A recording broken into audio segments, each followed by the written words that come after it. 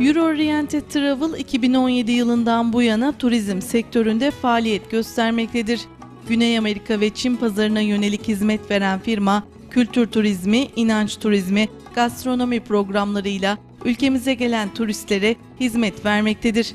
Bizler de firma genel müdürü Ahmet Mustafa'ya mikrofonlarımızı uzatarak turizm sektöründeki çalışmaları hakkında bilgiler alıyoruz. Ee, Şimdi biz ilk defa Türkiye 2009 geldik siyahet amacında. Sonra sonra gerçekten ülke e, çok güzel bulduk. Çok e, bir potansiyeli var turizm sektörü için.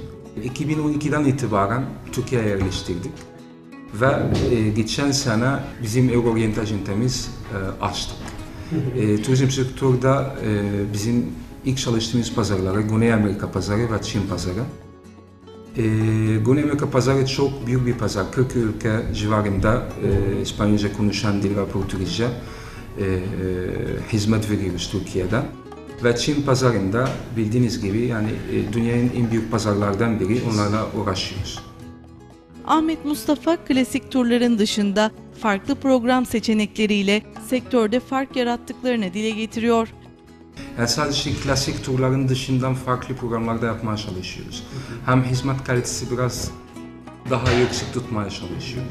Mesela Ege bölgesinde, Akdeniz bölgesi, Karadeniz bölgesi. Bunların bizim çalıştığımız pazarlar pek fazla çok çalışan ajantalar yok. Farklı turizm tipler var. Yani dini turlar var, e, gastronomik var, kültür var.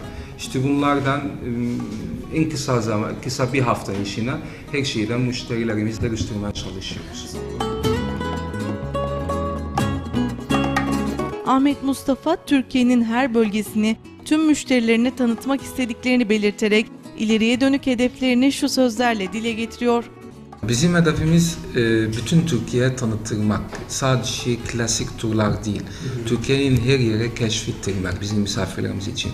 Bu uzak ülkelerden e, Türkiye'ye görmek için 15 saati uçan müşteri için sadece iki şehir arasında değil ama bütün farklı yerlerden göstermek, Türkiye'nin güzelliği ortaya çıkartmak, Türkiye'nin farklı yerlerde e, bu misafirlerimize keşfettirmek, onu hedefliyoruz.